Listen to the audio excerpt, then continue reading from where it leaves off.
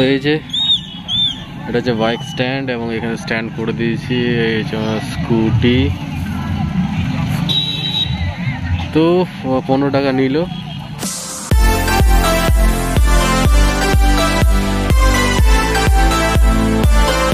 আমি এখন আছি বাইক স্ট্যান্ডে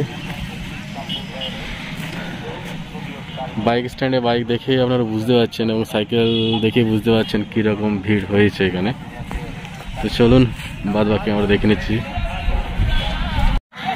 তো এই রোডটা হচ্ছে পুরুলিয়া পুরুলিয়া মানবাজার রোড, যেটা লালপুর হয়ে, এবং ঠিক তার রোডের উপরে এই মেলাটি বসে। জায়গাটি হচ্ছে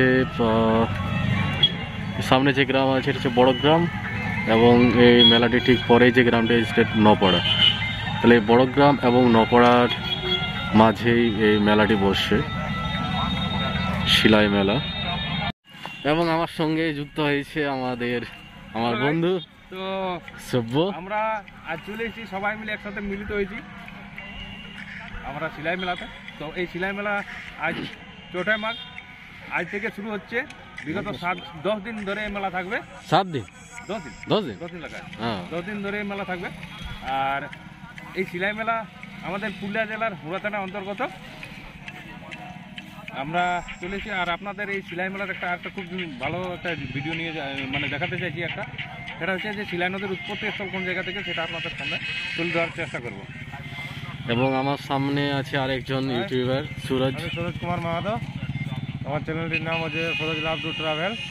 আমিও এসেছি বহরামপুর থেকে মানে পুরুলিয়া ডিস্ট্রিক্ট তো আমি ওখান থেকে এসেছি মোটামুটি ষাট কিলোমিটার হয়ে গেছে। তো চলুন আপনারা সবাই সাথে থাকুন। আর দেখুন। তো আপনারা দেখতে পাচ্ছেন, বহু দূর থেকে এরকমভাবে মেলা দেখার জন্য এসছে অনেকে। তো এরকম সরোজের মতো আরও আমরা পাবো, যারা আরও পুরুলিয়া থেকে বা বড়া, বড়াবাজার, বড়ামপুর থেকে এসছে। এবং আপনারা এই বাইক এবং সাইকেল স্ট্যান্ড দেখেই বুঝতে পারছেন যে কী হারে ভিড় হয়েছে। এবং এই ভিড়টা কিন্তু একটু পরে আরও আরও বেড়ে যাবে।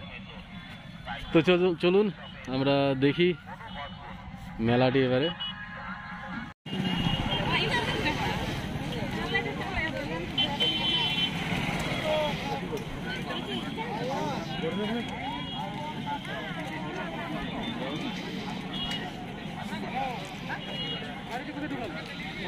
খেতে হয় বারবার। উজ্জ্বলের স্পেশাল পাঁচ কুড়ার চপ সব চপ খাবেন বারবার, উজ্জ্বলের পাঁচ কুড়ার চপ বছরে একবার।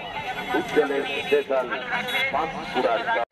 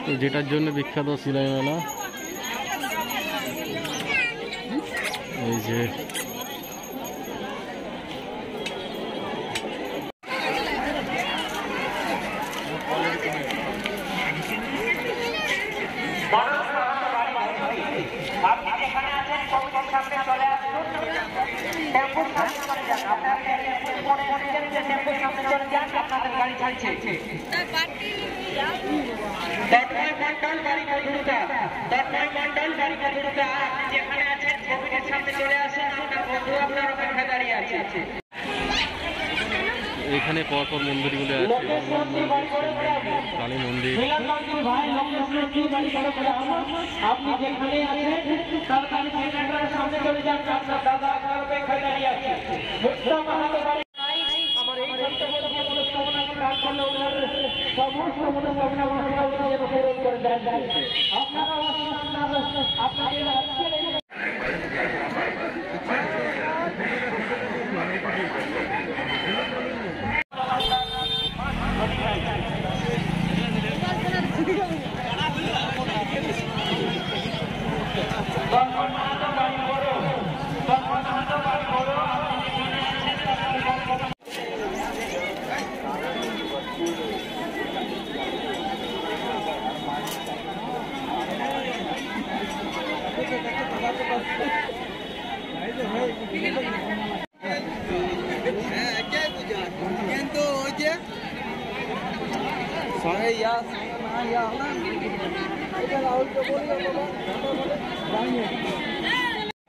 তো এখানে ড্যান্সিং থেকে শুরু করে নাগরদোলা অনেক কিছু বুঝতে বাকি আছে।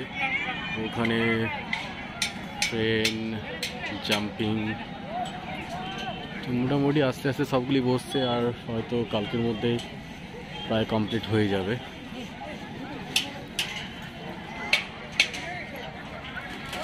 এইগুলি অন্য বছর এতদিনে বসেছে বাট এবছর পারমিশন পেতে লেট হওয়াতেই আজকে পর্যন্ত এখনও এগুলো কমপ্লিট হয়নি। তবে আশা করা যায় কালকের মধ্যে এগুলো কমপ্লিট হয়ে যাবে এবং টোটাল আর কি নাগরদোলা যেমন কমপ্লিট চেয়ারগুলো বাদে সবগুলি সেট হয়ে গেছে দি ড্যান্সিং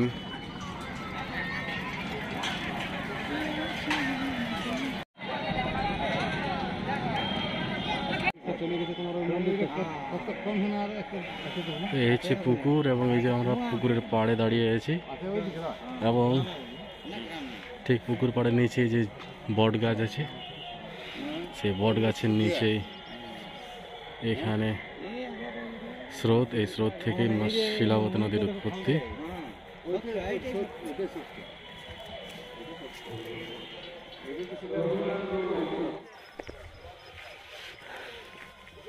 তো আমরা এখন ওই পুকুর পাড়ে ঠিক নিচ দিকে চলে এসেছি। তো এখান থেকে আর কি শিলাই নদীর উৎপত্তি স্থল এবং একেবারে আমরা সে সেন্টার পয়েন্টে যাব, যেখান থেকে আর কি শিলাবতী নদীর উৎপত্তি।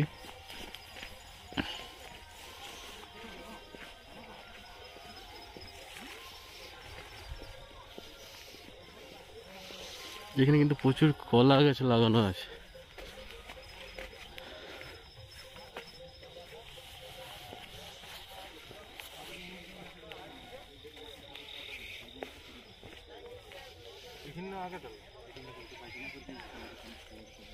তো মেন প্রবলেম এখানে এই যে নালার মতো দেখতে পাওয়া যাচ্ছে, এটা দিয়ে আর কি শিলাবতী নদী চলে গেছে।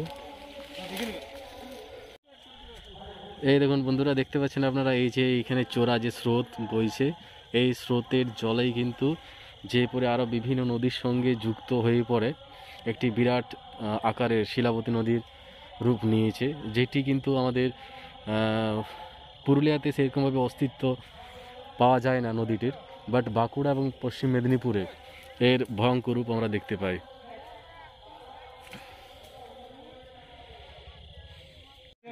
তো কাকা আচ্ছা এটাই কি সেই স্রোত যেখান থেকে শিলাবতী নদীর উৎপত্তি? না রোডের ওপাশে। রোডের রোডের ওপারে? রোডের ওপারে। ও। ওইখানের থেকে মানে ওই আমরা অবশ্যই দেখি নাই। মুরব্বীরা বলে দিত যখন তিল বন ছিল। হ্যাঁ তিল বনের থেকে একটা কুয়া ওখানে থাকতো। সেই হ্যাঁ। কুয়াকে জলকে আসতো। বড় বড় গ্রাম থেকে। হ্যাঁ। হ্যাঁ। তখন ওই দান দক্ষিণা করে আসে যা বললি কথাটা। হ্যাঁ গঙ্গা গেছিল দান করতে জয়কন্ডা হ্যাঁ। আমি বিগত কয়েক বছর ধরে এই কাহিনিটি শুনেছি। তো এই কাহিনিটির যে মূল বক্তা বা এখানকার লোকের কাছ থেকে যে বয়স্ক লোকের কাছ থেকে যেটা শুনেছি যে এখানে জয় পণ্ডা বলে একজন ব্যক্তি থাকতেন। তিনি থাকতেন ওই অনেক দূরে এই গ্রামের পাশে ওই পাশে। বড় গ্রাম। বড় গ্রামের মন্দির গ্রাম থেকে ছাড়া অনেক দূরে। হ্যাঁ, হ্যাঁ, ফাঁকা একটা মন্দির আছে। সেই মন্দিরে থাকতেন জয় ওইটা জয় যখন আসে সে ছলে বলে আছে।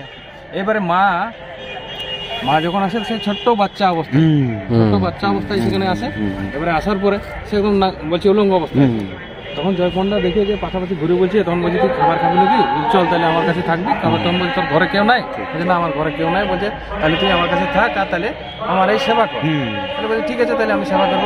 তখন সেই থাকতে থাকে দিন দিন অনেক দিন হয়ে যায়। তারপরে হঠাৎ একদিন এবারে জয় পণ্ডা বলছে আমি একদিন গঙ্গাসাগর যাব। গঙ্গাসাগর যাব। তখন বলছে তুমি যদি গঙ্গাসাগর যাবে তাহলে বলছে আমার কিছু জিনিস আছে সেই জিনিসগুলো লেগে তুমি ওখানে আমাকে ভাসান দিবে। হ্যাঁ হুম। মা সেই সঙ্গে চোখ চুল আছে নখের ছোট টুনি ছোট নখ মানে নখ সেই ছোট ছোট টুনিগুলা পটলা করে জয় পণ্ডাকে দিয়ে দিত কিন্তু রাস্তায় জয়পণ্ডা দেখে না একবারও। এবার যখন জয় পণ্ডা চান টান করে যখন উঠছে তখন বলছে তো আমার ঘরে যে কামিনটা আছে সে তো একটা কি আমাকে পটলা দিয়েছে? তাহলে সেই পটলাটা যখন এবারে ফেলে দিয়েছে তখন মা গঙ্গা ওখান থেকে হাত তুলে ওই মালগুলো নিয়ে নিয়েছে ওই জিনিসগুলো। তাহলে তখনও দর্শন পাইছে মা গঙ্গার। জয়পন্ডা জয় পণ্ডা অ্যাকচুয়ালি জয়পন্ডা দর্শন পাইছে তাহলে জয় পণ্ডা তখনই ধারণা গেছে তাহলে আমার ওইখানে যে একজন কাজ করছে সে মালটা তো এরকম কেউ লয়? সাধারণ কেউ সাধারণ কেউ লয়? হ্যাঁ। তাহলে বলছে সেটাকে দেখতে যেতে হবে। তাহলে ও তাড়াতাড়ি দ্রুত গতিতে আসছে। আর সেই বতরে ওইখান থেকে মা জন নিয়ে যাবে। যাবে। আর সেই সময় ই দেখতে পাইছে জয়পন্ডা। জয়পন্ডা এবারে হাঁকাইছে আর ও কলসি নিয়ে জল নিয়ে যেতে সেই তখন ও দেখতে পাইছে আর হাঁকাইছে আর সেই তখন থেকে ওই যে কলসি পড়ে গেছে হ্যাঁ। বলছে ওখান থেকে জল। হ্যাঁ। সেখান থেকে তৈরি। ওই ওই ধরি ধরি ধরি ধরি। মেনলি আমরা সবাই যেটা জানি যে এই যে পুকুর এই পুকুরের স্রোত থেকে শিলাবতী নদীর উৎপত্তি এটা কিন্তু অ্যাকচুয়ালি নয় না না না না। এটা কিন্তু এর উৎপত্তি মেন উৎপত্তি। হ্যাঁ হ্যাঁ। পৌরাণিক জিনিস আছে পৌরাণিক হ্যাঁ। জিনিস আছে যেমন পাথরের ছোট ছোট। হাড়ি আছে বড় বড় পাথরের। বিশাল বড় বড় হাড়ি। পাথরের পৌরাণিক যে- যে সিম্বলগুলো দেখতে পাবে সেগুলো পৌরাণিক একদম পুরাতন অনেক পুরানো মন্দিরটা। হ্যাঁ। মন্দিরটা যেহেতু আমি আগে গিয়েছিলাম ওখানে আগে ভিডিও তো করেছি আমি। ওই যে দেল ভিড় দেল ভিড় যেটা বলে। দেশ ভিড় যেটা বলে। এই বড় গ্রামের ওপারে। সেইটা। দেল ভিড় জাস্ট অনেকটাই নলেজ চলে এসেছে হ্যাঁ। যে এখানে মায়ের যে রূপ বা ঘটনাটা যেটা বলেছে সত্যি আমাদের এই শিলাবতী নদী আমাদের এখান থেকে ধীরে ধীরে নিচে গিয়ে যে বড় আকার ধারণ হ্যাঁ, করছে। আমাদের এটা হচ্ছে ম্যান স্রোত। আমাদের শিলা নদীর ম্যান স্রোত হচ্ছে আমাদের ধন্যবাদ। কাকা আপনার নামটা? আমার নাম মাধব সহিস। মাধব সহিস। ধন্যবাদ। নপাড়া গ্রাম কোথায়? নপাড়া বাড়ি।